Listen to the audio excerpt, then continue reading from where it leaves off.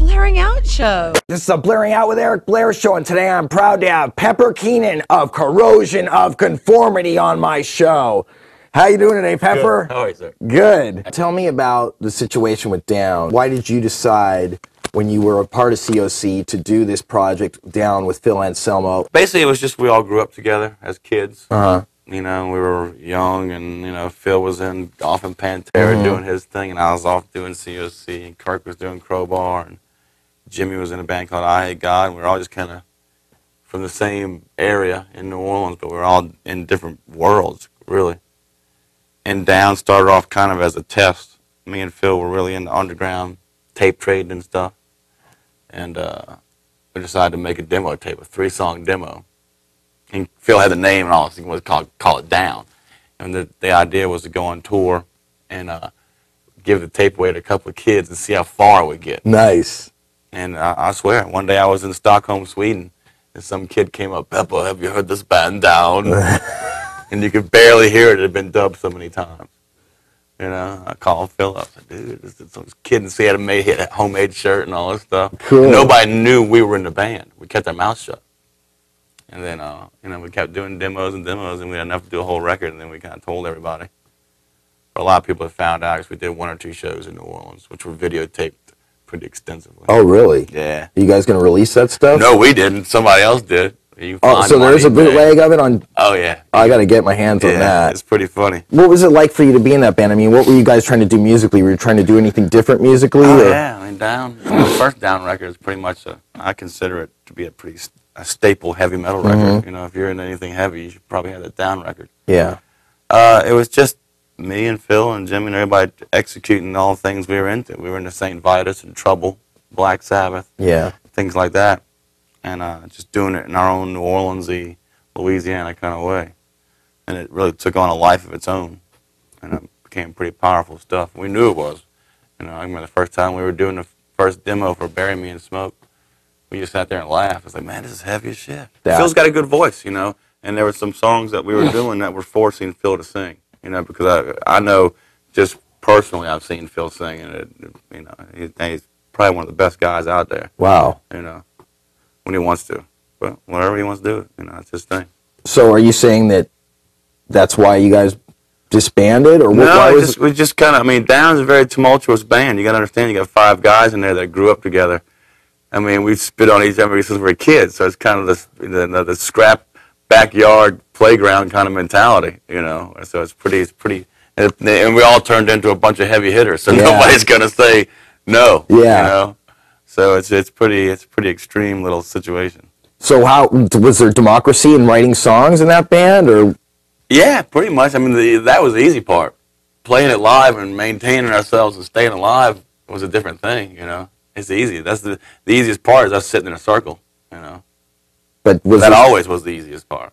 was there li- was it li- like a heavy party time on the on the road? There was yeah, there was all you name it, man. There was all kind of stuff going on. It was just extreme. That's all I can tell you. Well, we love Down, and it'd be great if you guys could go in and knock out another album. Maybe one of these days. Now, what does the name C- Corrosion of Conformity mean to you today?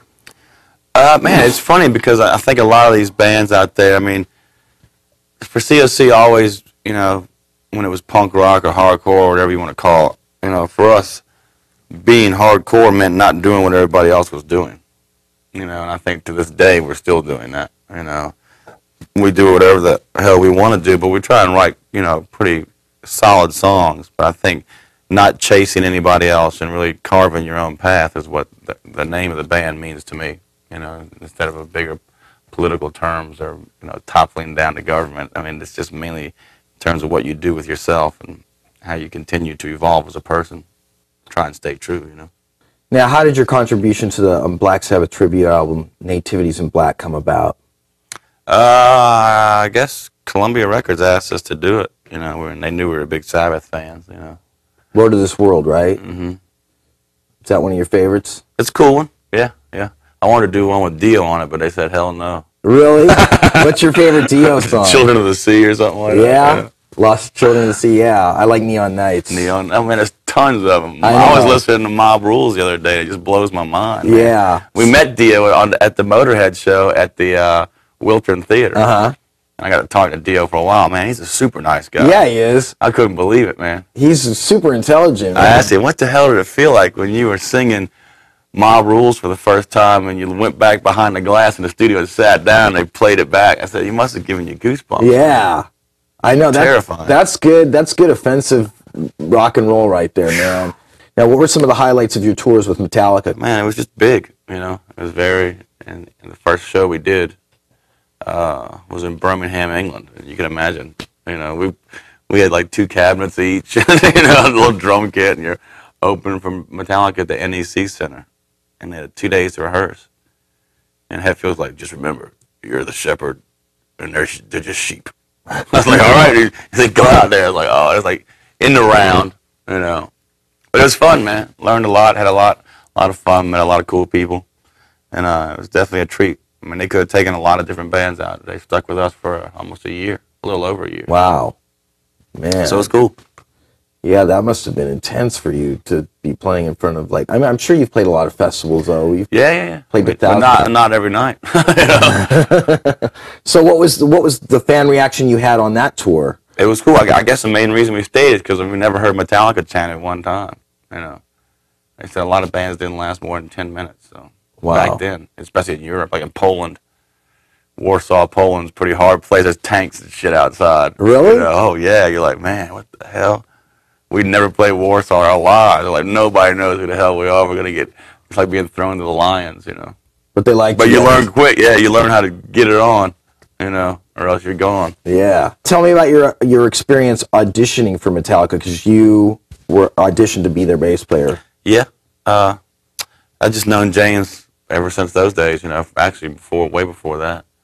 And uh, we became friends, and uh, it was something he wanted me to do or asked me to do, and I was like, hell yeah, I'll give that a shot. And I kind of kept it top secret because I was pretty happy and down in COC at the same time. It wasn't really, I didn't want to alter my lifestyle or anything. If I didn't get it or put all my eggs in one basket or Yeah. one of those kind, you know.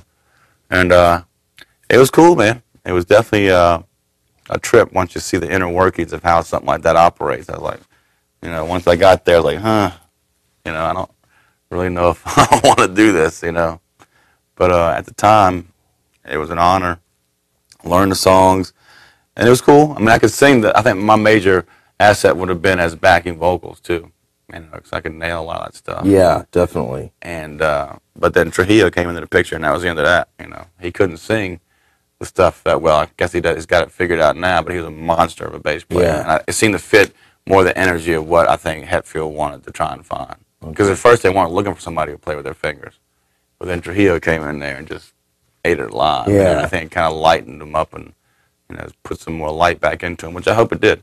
You know, I think everything worked out for the best for everybody.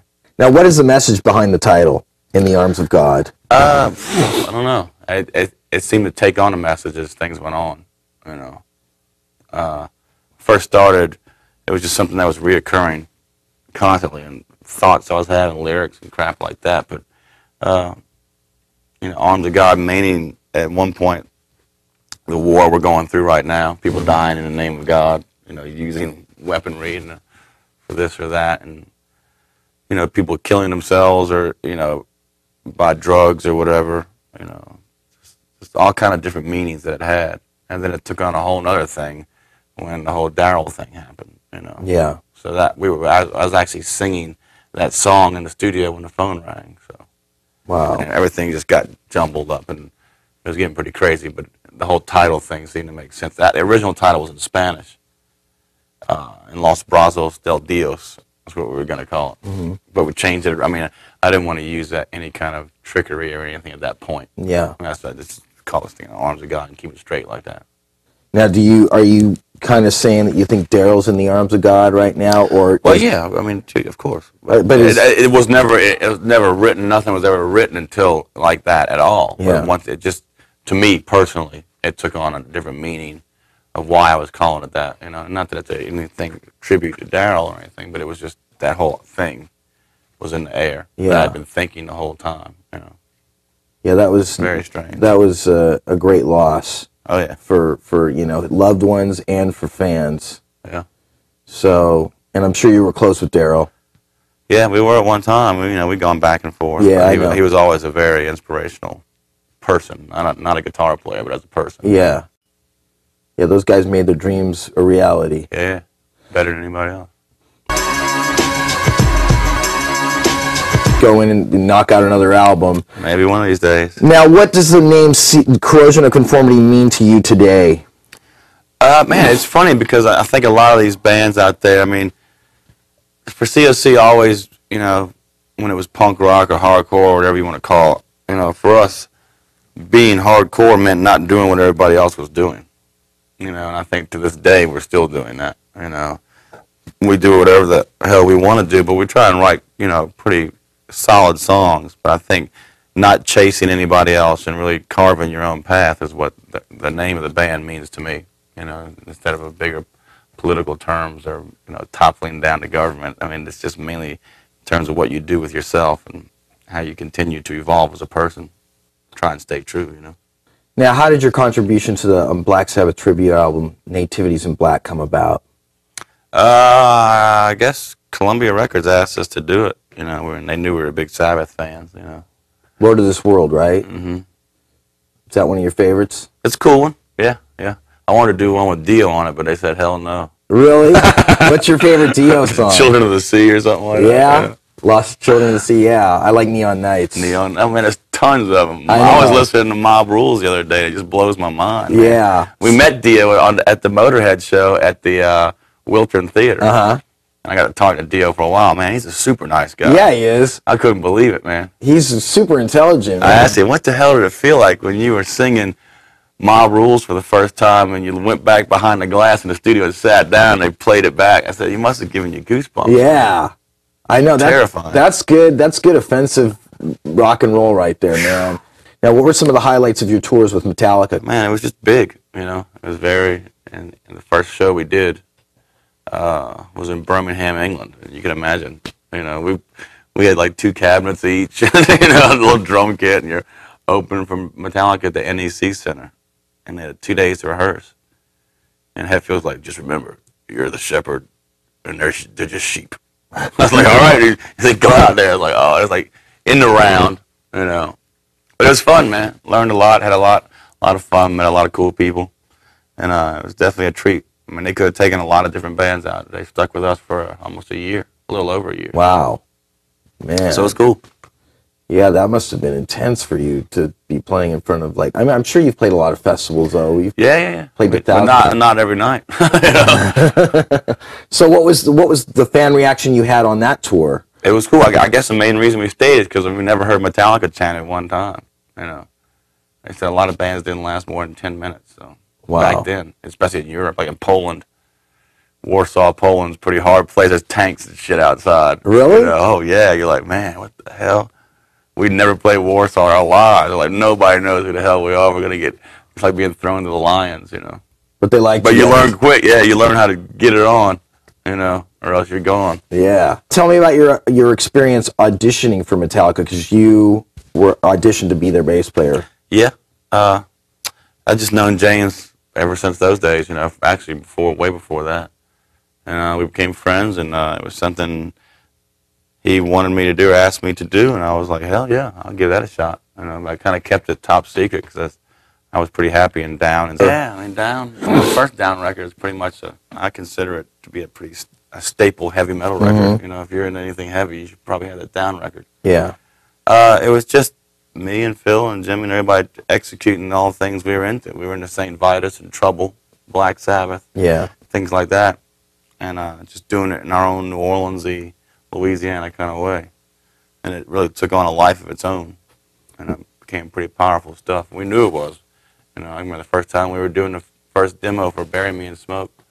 We just sat there and laughed. It's like, man, this is heavy as shit. Yeah. Phil's got a good voice, you know. And there were some songs that we were doing that were forcing Phil to sing, you know, because I I know just personally I've seen Phil sing, and it, you know, he, he's probably one of the best guys out there, Wow. you know, when he wants to.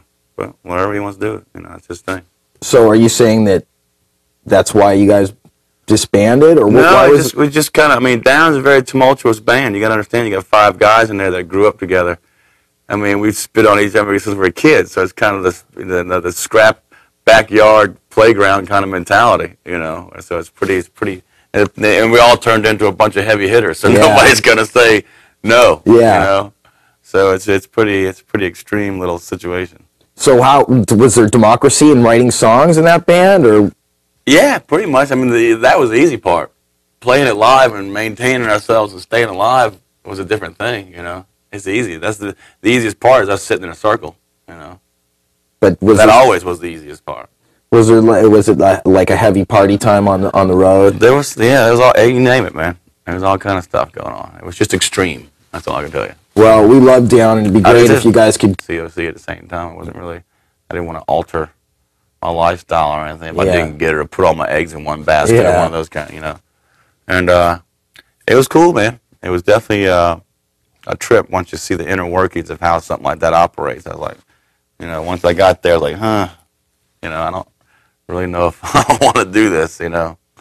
But uh, at the time, it was an honor.